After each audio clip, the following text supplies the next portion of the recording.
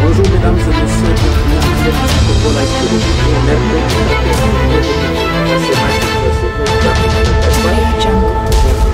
Bonjour à messieurs les journalistes, bonjour à nos téléspectateurs, bonjour à tous ceux-là qui se battent pour que le Congo puisse recouvrer sa souveraineté nationale et internationale. La santé, ça va Ben, ça va malgré les douleurs qui, euh, qui persistent, mais nous recevons quand même les soins appropriés. Human Rights Watch accuse en tout cas les rebelles du M23 des meurtres, exécutions sommaires et viols. Il faut préciser que depuis la fin de l'année 2022, les rebelles du M23 soutenus par les Rwandais ont commis des meurtres, des viols et d'autres crimes de guerre manifestent dans l'est de la RDC, a déclaré Human Rights Watch dans un communiqué publié hier mardi à Nairobi au Kenya. Des attaques par, par armes explosives menées dans des zones habitées dans la province du Nord qui vont tuer et blesser des civils, endommager des infrastructures et exacerber une crise humanitaire déjà catastrophique, poursuit ces communiqués. Il y a, tout, il y a plusieurs choses en fait, mais on, on se limite par l'espoir. D'abord, on commente un peu ces rapports. Et on Euh, en fait, euh, cette organisation commence à devenir petit à petit euh, une organisation fiable. Parce que beaucoup de gens disaient que non, Human Rights Watch, c'était contre Kabila, c'était contre, contre, contre. Et il y a les moments où nous aussi, même les militants, on ne comprenait plus. Mais quand même, on comprend, les informations qui sont en train de fournir, ce sont des informations fiables. Puisque personne ne peut refuser que les M23 n'ont pas massacré, n'ont pas violé. Et aussi, euh, personne ne peut refuser que les M23 ne sont pas soutenus par Kigali. euh. Euh, maintenant, honte à certains Congolais qui ne comprennent pas euh, les dangers euh, qui planent sur la RDC. Honte à ces Congolais-là euh, qui défendaient. Imaginez, Human Rights Watch, au moins euh, 80%, ce sont des étrangers. Mais qui donnent une vraie version sur ce qui se passe que certains Congolais ne parviennent même pas à donner, voyez-vous. Euh, mais aussi, je crois qu'on ne peut pas se limiter seulement à des rapports. Nous devons, il faut qu'il y ait des réactions rapides pour mettre fin à cette hémorragie. Parce qu'il y a beaucoup de choses qui ont déjà été écrites sur le Congo, des violations en violation, mais jusque-là, rien n'est fait, voyez-vous. C'est que nous voulons voir les gens produire des rapports, mais d'autres instances doivent s'inspirer de ces rapports. Les meurtres et viols commis sans relâche par les M23 font, sont pardon, favorisés et soutenus, euh, et soutenus, disons, sont favorisés par les soutiens militaires que les commandants rwandais apportent au groupe armé rebelle, a affirmé Clémentine de Montuyo, chercheuse au sein de la division Afrique de Human Rights Watch, qui ajoute que les Congo et les Rwandais ont tous dès l'obligation de traduire en justice les commandants du M23 pour leurs crimes ainsi que tout responsable rwandais qui les soutient. Non, les, les Rwandais ne peuvent pas, ne pas traduire en justice. Bon, en fait, c'était ses propos. Mais les Rwandais ne peuvent pas traduire ces éléments en justice. Ce sont ces garçons envoyés ici. Et ce sont ces militaires qui opèrent sous les labels des 123. C'est, moi, je crois que c'est chez nous, nous devons accélérer tout ce qu'il faut pour que nous puissions mettre pression sur le plan international à cette, euh, à cette dite euh, Cour pénale internationale pour poursuivre ces auteurs. Savez-vous que depuis les années 2004, 94, euh, 2013, euh, il y, a, les gens qui ont eu l'amnistie va qui va comme ça puisque euh, ils étaient sous la protection de certains politiciens. Mais aujourd'hui, la population, nous avons compris, toute politique que- qui qu'on managera à l'encontre de la volonté de cette population, ils nous verront sur leur chemin. C'est à nous de nous de multiplier nos efforts, c'est à nous de nous concentrer à l'intérieur pour voir comment est-ce qu'on peut gagner cette bataille. On ne va plus accepter que nous puissions cohabiter avec ceux-là qui ont violé nos sœurs, nos mamans, nos petites sœurs.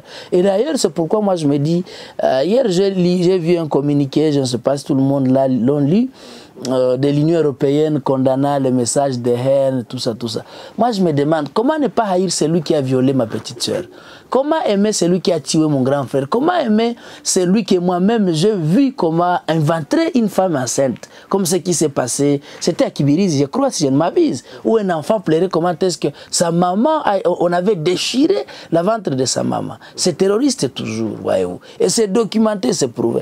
Mais ces gens, au lieu d'aider les gens à vivre en paix, ils nous viennent avec des communiqués. Mais quand même, je soutiens... Euh, je soutiens ces rapports de Human Rights Watch et que tous nous devons partager pour voir est-ce que ça va atteindre les porte-parole des 1-23. M. Antonio Guterres, qui disait que les 1-23, ils ont, ils ont des armes sophistiquées uniquement que pour nous faire taire, comme ils le faisaient en 2013, afin que la population puisse fuir et laisser ces gens récupérer la ville de Goma. C'est que nous sommes tous appelés à l'unité et c'est dans l'unité que nous allons mettre fin à cette histoire. Je crois que nos politiciens devraient mettre leur guerre politique à côté pour voir d'abord l'intérêt général qui est l'intérêt de cette population qui vous ont toujours élu.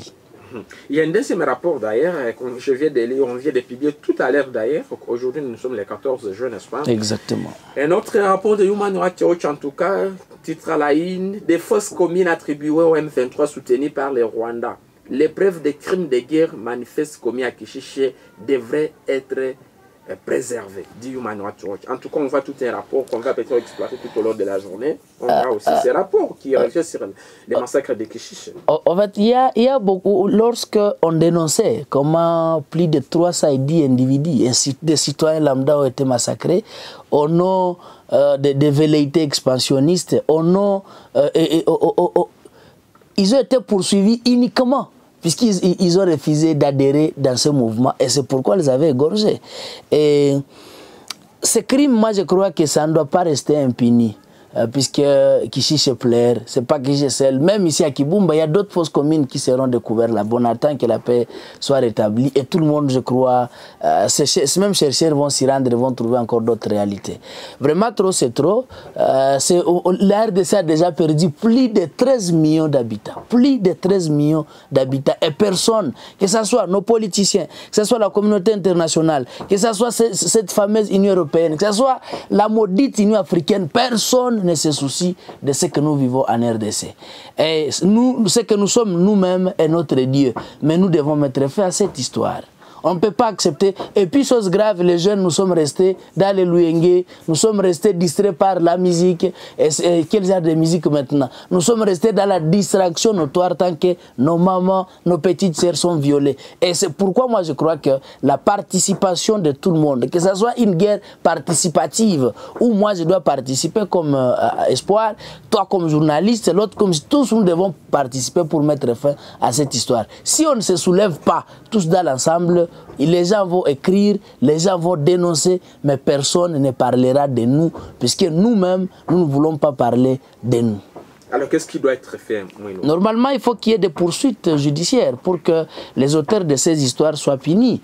Euh, aussi, il faut savoir que s'il n'y a pas de poursuites judiciaires, il y aura toujours cette vive tension qui va, euh, qui va persister. C'est que la meilleure façon euh, de, de, de, de d'éviter euh, des messages de haine. La meilleure façon de cohabiter ensemble, comme le ministre de, de, la Défense a dit, la meilleure façon de nous unir, c'est de poursuivre ces criminels qui sont entre nous.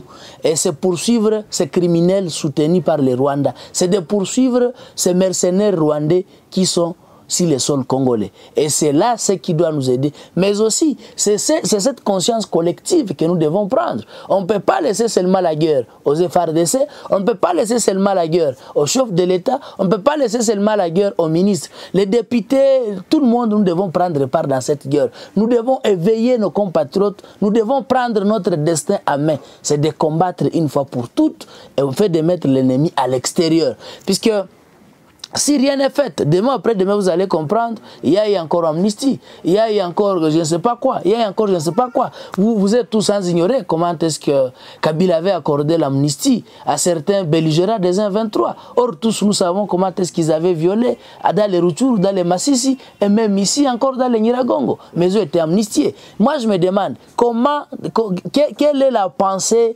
de, ces victimes des 1-23 de 2000 euh, de 2013. C'est puisqu'ils avaient été amnistiés Et comme ils ont été amnistiés, ils, ils, ils savent que nous allons revenir et demain après-demain, on va encore nous amnistier. Voyez-vous. C'est pourquoi oui. on ne peut pas accepter qu'au nom de la paix qui ne viennent pas, qu'on puisse couvrir les infractions euh, qu'on ne peut pas couvrir. On ne peut pas accepter que les droits humanitaires internationaux soient violés au nom de la paix et la paix qui ne dit même pas ce dernier mot. D'accord, merci beaucoup, Espoir. On va marquer une virgule et puis on va revenir sur ce même sujet. Euh, nous allons vraiment décortiquer un peu ces rapports rendus publics ce matin par Human Rights Watch. On va revenir sur plusieurs témoignages des personnes interrogées par cette organisation. Mais avant cela, on se rend d'abord à Calais et nous revenons sur votre mobilisation. En êtes-vous, Espoir Moinouka Exactement. Aujourd'hui, il faut qu'on précise la date. Aujourd'hui, c'est mercredi le 14. Mm -hmm. euh, on avait lancé notre mobilisation il y, a, il y a maintenant, nous allons dans les deux mois si je ne m'abuse.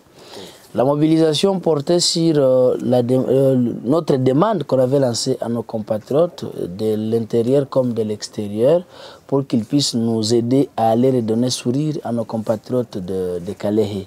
Et il y a quand même quelques compatriotes qui ont contribué, qui ont fait un geste. Et il y a d'autres qui ont promis que, qui vont faire quelque chose mais qui n'ont pas encore, encore réalisé. Mais ceux-là qui ont réalisé, nous sommes toujours dans les 1600. Mais hier, on a eu euh, 40 000 francs. Il y a notre compatriote qui nous a appelé, il nous a envoyé 40 000 francs comme contribution. C'est que nous avons le 1600 et 40 000 francs, euh, ce qui fait 60 000 francs, puisqu'il y a aussi 20 000 francs qu'on avait envoyés à Lubumbashi. C'est que si on peut euh, convertir en, termes de dollars, c'est que c'est 1630 dollars déjà. Non, non, 1625 villes le taux du jour. Alors, euh, nous avions dit à nos compatriotes que nous devons partir à Calais d'ici demain, c'est demain le, le, 15. Mais vu les attaques, les attaques qu'on a été victimes, c'est que nous serons obligés de partir le samedi. C'est samedi en fait. Effectivement. Mais les, les achats de vivres. On doit commencer de, demain. vendredi. Euh, le demain? vendredi plutôt. Ouais, demain c'est jeudi. On commence le, le vendredi. Ouais. Mais dans l'entretemps, euh, puisque ici chez nous, euh, c'est plus mieux d'aller au marché le vendredi pour qu'il y ait pour que vous puissiez faire l'achat d'une manière un peu, un peu calme. Alors, mais c'est là que cela ne tienne. Il y a cela dans les deux jours qui peuvent encore faire quelque chose. Et ça va nous aider toujours, puisque, comme vous savez, d'ici et à Calais, c'est pas moindre. Il y a beaucoup. Euh, il faut que nous puissions réserver les billets et autre chose. Et nous ne savons pas si nous allons partir aller, aller et retour, voyez-vous. C'est que nous attendons toujours, si ceux-là qui ont promis, s'ils peuvent encore réagir, euh, ça va toujours nous aider. Et bon, c'est un peu ça en fait. Mm -hmm. mm. Alors ça se passe comment? Est-ce que les gens peuvent toujours contribuer ou bien ouais. Ceux-là qui peuvent encore contribuer, nous n'avons pas encore fermé la, la, la, porte pour la contribution. Et vous pouvez nous contacter à nos coordonnées. Nous sommes ici les 09 92 66 42 08. Vous pouvez contribuer à ces numéros. De même que vous pouvez envoyer à notre nom Espoir Mounouka et on va recevoir. D'accord, merci Espoir Mouinouka. Le numéro, on l'avait donné D'accord, super. On revient sur ces rapports de Human Rights Watch. Des témoignages indiquent que les combattants du M23 ont tué de nombreux civils et capturé des membres des miliciens après la fin des combats en novembre et après qu'ils se sont emparés du village. Un homme capturé par le M23 a décrit la série de meurtres commis par les combattants. J'ai vu quatre cadavres des voisins à côté de ma maison, un peu plus loin dans les villages, ils ont tué un homme de la tribu Chi et ont recouvert son corps avec une couverture pour le cacher. À côté, quand nous sommes arrivés au marché, j'ai vu un voisin ainsi que sa femme et son fils. Ils ont tué les deux hommes et laissé la femme. Ils ont continué et ont trouvé une maison avec trois hommes cachés à l'intérieur ils ont tué avec l'air roux. Ensuite, nous sommes arrivés à l'église adventiste. Ils ont fait sortir tout le monde et ils ont exécuté. Il y avait peut-être une vingtaine de personnes.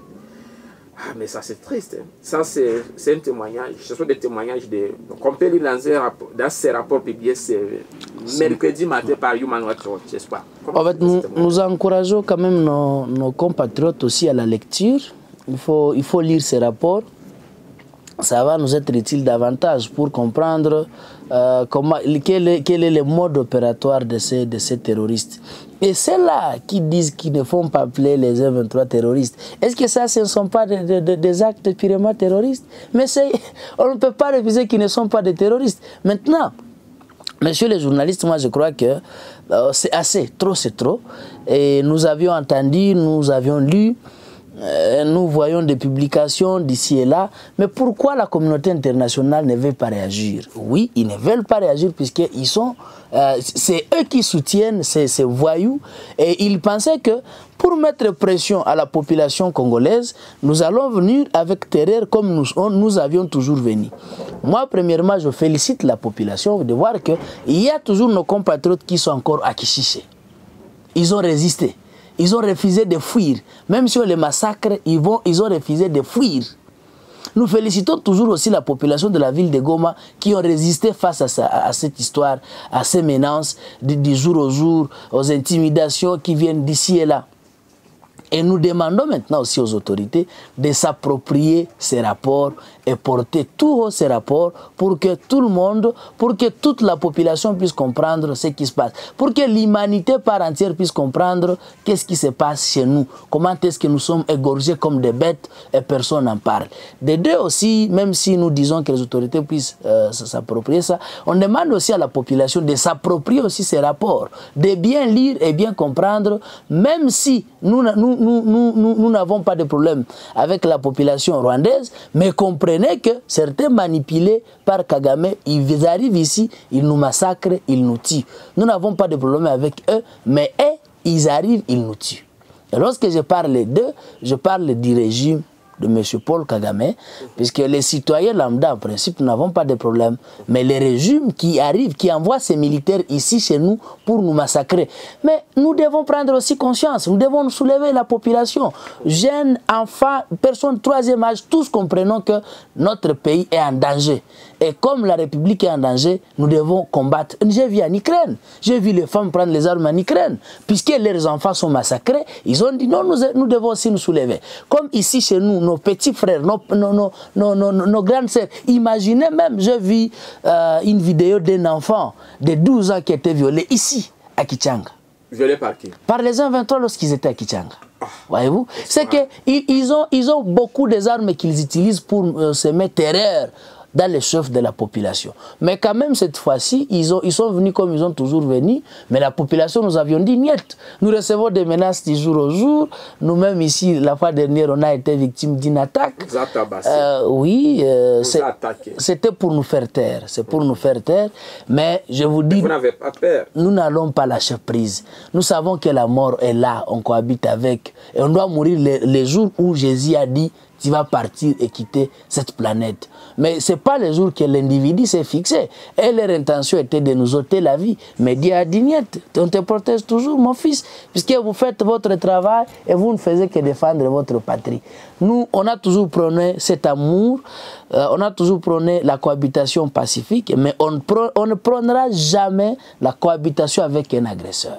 Ça, les gens doivent oublier. Si les gens attendent que mon jour, moi je dirais que les 1-23 puissent vivre ici et que non, jamais. C'est pourquoi nous on s'est dit, c'est là qui sont en train de- d'intimider le gouvernement, de mettre ces voyous ici tout près. Non. Avant que les pires n'arrivent, le gouvernement devrait, dans l'urgence, réorganiser cette jeunesse et doter la jeunesse des armes pour que la jeunesse puisse protéger l'intégrité du territoire national.